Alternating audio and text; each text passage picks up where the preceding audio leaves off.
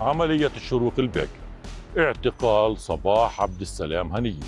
شقيقة إسماعيل هني رئيس المكتب السياسي لحركة حماس. لم تجري عملية الاعتقال في مستشفى الشفاء أو خان يونس ولا في قطاع غزة أصلا بل في إسرائيل وتحديدا في بلدة تل السبع في النقب فصباح هني البالغة من العمر 57 عاما متزوجة من رجل من فلسطيني 48 وهي ليست الوحيدة. فلديها شقيقتان أخريان تزوجتا في نفس البلدة.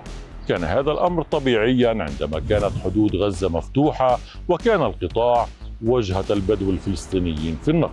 الشرطة الإسرائيلية وقوات الشباك التي داهمت منزل العائلة وعاثت فيه خرابا تنسب للسيدة صباح هني تهم التواصل مع جهات إرهابية والتضامن مع منظمة إرهابية.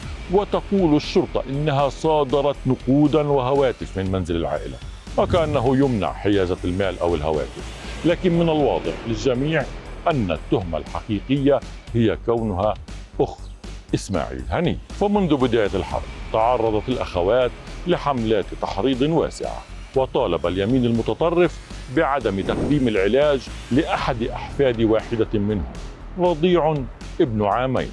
في أحد المستشفيات الإسرائيلية.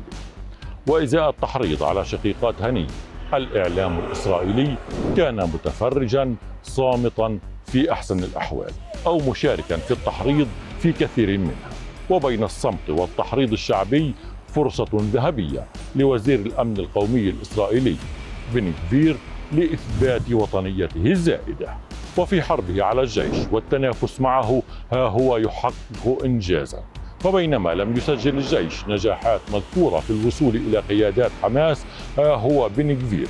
يسجل بطولة جديدة في اعتقال أخت إسماعيل هني ولا أقل من ذلك. نضال كناعني سكاي نيوز عربية القدس.